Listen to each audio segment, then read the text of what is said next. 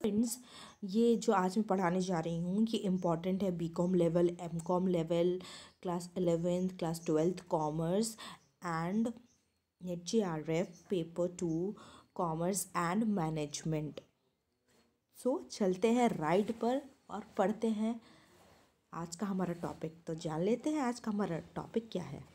तो आज का हमारा टॉपिक है कॉन्सेप्ट ऑफ़ मार्केटिंग से रिलेटेड तो क्या आप सब एक्साइटेड हैं? तो मैं आपको बहुत ईजिली समझा दूँगी पाँच कॉन्सेप्ट मार्केटिंग के आज। तो ध्यान से सुनिएगा। प्रोडक्शन कॉन्सेप्ट सबसे पहला कॉन्सेप्ट है प्रोडक्शन अब देखिए प्रोडक्शन जब कॉन्सेप्ट उतना सक्सेसफुल नहीं हुआ, उसमें कुछ कमियाँ थी, तभी तो हमारा नेक्स्ट कॉन्सेप्ट आया। तो ऐसे ही कॉन्सेप्ट बनते गए, किसी में कुछ कमी निकलती गई तो अगला कॉन्सेप्ट आया, फिर उसके बाद अगला कॉन्सेप्ट आया। लेकिन सबसे पहला जो कॉन्सेप्ट है ओल्डेस्ट कॉन्सेप्ट हमारा क्या है? प्रोडक्शन कॉन्सेप्ट प्रोडक्शन कॉन्सेप्ट क्या है? Production concept refers to the concept where consumer will prefer those goods और दोज प्रोडक्ट पहले मैं समझा देती हूँ, फिर ये आप अपने नोट कर लीजिएगा जो मैंने यहाँ पे लिखा है। प्रोडक्शन कॉन्सेप्ट में क्या होता है, उसकी ये मान्यता थी कि हम वो गुड्स हमारा ज़्यादा सेल होगा, जो कि बहुत सस्ता होगा और बहुत ज़्यादा जगहों पे अवेलेबल होगा। तो प्रोडक्शन कॉन्सेप्ट का मानना था कि प्रोडक्ट जो कि वाइडली अवेलेबल है और चीप है, उसे कंज्यूमर या कस्टमर हमारा ज़्यादा खरीदेगा। तो ये प्रोडक्शन कॉन्सेप्ट का मानना था। कंज्यूमर क्या होता है? जो अल्टीमेटली उस प्रोडक्ट को कंज्यूम करता है कस्टमर कोई भी हो सकता है, उसका भाई जो उस प्रोडक्ट को लेने गया था, लेकिन जो कंज्यूमर है वो जिसने उसको अल्टीमेटली कंज्यूम किया, वो होता है। ठीक है? तो आगे बढ़ ले बढ़ते हैं। ये आपको समझ में आ गया होगा प्रोडक्शन कॉन्सेप्ट मेनली फोकस करता था लार्ज स्केल प्रोडक्शन पे। ज़्यादा बनाओ ज़्यादा बनाओ ज़्यादा बनाओ, तभी तो सस्ता होगा, क्योंकि हम लोग लार्ज स्केल प्रोडक्शन कर रहे हैं और वो प्रोडक्ट ज़्यादा बिकेगा। चलिए नेक्स्ट पढ़ लेते हैं। प्रोडक्ट कॉन्सेप्ट प्रोडक्ट कॉन्सेप्ट में क्या होता है? प्रोडक्ट प्रोडक्ट से याद रखिए। प्रोडक्ट ही इतना क्वालिटेटिव प्रोडक्ट ही इतना इनोवेटिव बनाएँगे। कि वो सेल हो जाए। ठीक है, जैसे कि ये देख लीजिए प्रोडक्ट में ही इतनी ज़्यादा क्वालिटी है प्रोडक्ट ही इतना ज़्यादा इनोवेटिव है, सब कोई ऐसे ही केक बेचता है, लेकिन हमने उसमें थोड़ी इतनी ज़्यादा डेकोरेशन कर दी, थोड़ा कुछ इनोवेशन कर दिया, हमने उसको मिनीचर बना के सेल कर दिया मतलब कि जो बहुत लोग बड़े बड़े केक सेल करते हैं उसका छोटा सा पार्ट बनाया मिनीचर बना के सेल किया। तो ये मैंने कुछ इनोवेशन किया अपने खाने में। जैसे खाने में इनोवेशन होता है, वैसे प्रोडक्ट में भी इनोवेशन होता है। लोग प्रोडक्ट में भी इनोवेशन करते हैं कि हमारा प्रोडक्ट सबसे अलग हो जाए। यहाँ पे सिर्फ़ प्रोडक्ट पे फोकस किया गया कंज्यूमर की नीड पे तो बिल्कुल ही फोकस नहीं किया गया।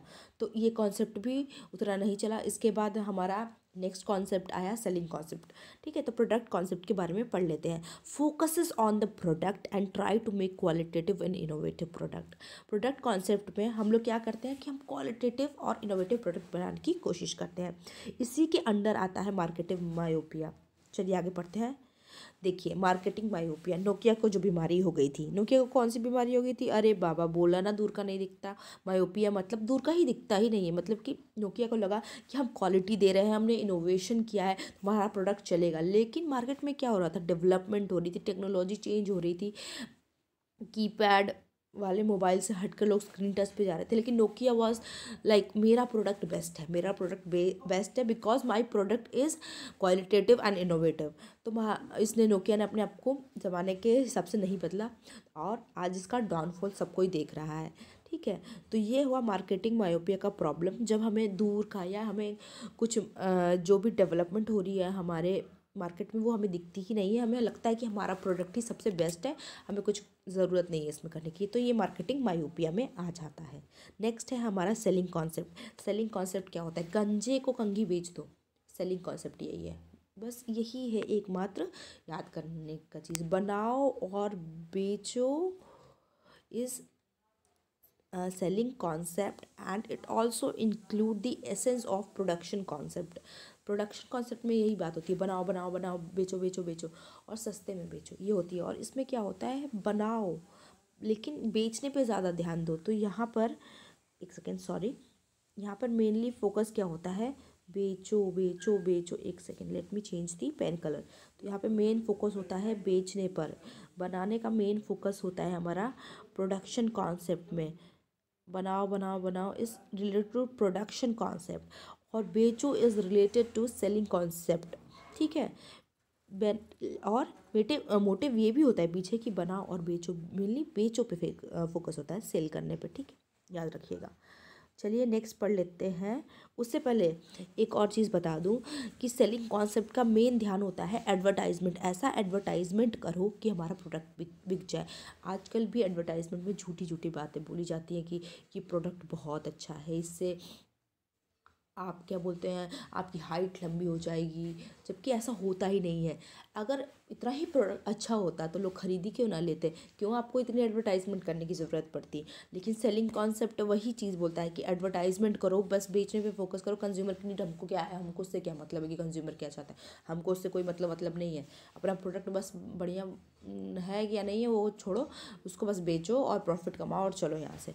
ये है सेलिंग कॉन्सेप्ट का मतलब। ठीक है? इसको बस अपनी सेल बढ़ानी है एडवर्टीजमेंट कर करके ये सेलिंग कॉन्सेप्ट हो गया। नेक्स्ट पढ़ लेते हैं। मार्केटिंग कॉन्सेप्ट मार्केटिंग कॉन्सेप्ट ही ऐसा कॉन्सेप्ट है जब ये आया, ये किस किस के बाद आया? प्रोडक्शन कॉन्सेप्ट के बाद आया है प्रोडक्ट कॉन्सेप्ट के बाद आया और सेलिंग कॉन्सेप्ट के बाद चौथे पे आया है मार्केटिंग कॉन्सेप्ट जो कि कस्टमर नीड्स एंड वांट्स पर फोकस करता है और चाहता है कि अपने कस्टमर को अपने कॉम्पिटिटर से बेटर चीज़ दें। बस यही चाहता है। जो भी सेलर होता है या जो भी मार्केटियर होता है मार्केटिंग कॉन्सेप्ट का मतलब यही होता है। अब वी टू और मेगा शॉप में हमेशा कंपटीशन चलता है। एक पे एक फ्री दे रहे हैं विंटर सीज़न में मेगा शॉप वी टू भी वही कर रहा है फ्री दे रहा है। अगर वी टू ने कुछ निकाला तो मेगा शॉप भी ऐसे कर रहा है। मीन्स कस्टमर की नीड है कि वो चीपर चीज़ चाहता है तो मैं चीपर भी बेचे जैसा कस्टमर चाहता है। और अपने कॉम्पिटिटर से कॉम्पीट करते हैं। जैसा कॉम्पिटिटर कर रहे हैं, वो चेंजेस करते रहें। ऐसा मतलब कि अपने कॉम्पिटिटर से बेटर ही हमको, अपने कंज्यूमर को सर्व करना है। ये मार्केटिंग कॉन्सेप्ट का मतलब है। सोसाइटल कॉन्सेप्ट देखिए, एक तो कहने वाली बात है, हमने इंडस्ट्री लगाई, पूरा पल्यूट कर दिया, उसके बाद हम सी एस आर करेंगे कॉर्पोरेट सोशल रिस्पॉन्सिबिलिटी करेंगे, पहले नेचर को ख़राब कर दो और फिर नेचर के लिए कुछ दान कर दो। ये कोई बात होती है? ये होता है सी एस आर में, लेकिन लोग करते हैं और उनको टैक्स में भी प्रॉफिट कमाते हैं। ये थोड़ी ना होता है सोसाइटी लेकिन तब कुछ कुछ कंपनियाँ भी ऐसी हैं जो सोसाइटी को बहुत ज़्यादा ध्यान में रख के अपना प्रोडक्ट बनाती हैं। कि सोसाइटी को इससे नुकसान नहीं होना चाहिए। जैसे ऑर्गेनिक प्रोडक्ट भी आजकल हमारे आ रहे हैं। तो ऑर्गेनिक प्रोडक्ट, ऐसा प्रोडक्ट बनाए जो कंज्यूमर के लिए मतलब कि स्वास्थ्य के लिए भी अच्छा हो, ठीक है? और सोसाइटी को भी उससे कुछ नुकसान ना हो पोल्यूशन ना हो, ये ना हो। आजकल ऐसी कंपनियाँ आ रही हैं तो आप ये सर्च करिएगा गूगल पे कंपनीज़ का नाम और कमेंट बॉक्स में मुझे बताइएगा, या आपको कोई पता है तो बताइएगा, ठीक है? तो सोसाइटल कॉन्सेप्ट का बहुत ही ईजी मतलब है देयर नीड्स देयर नीड्स उनकी नीड्स और सोसाइटी सबसे पहले।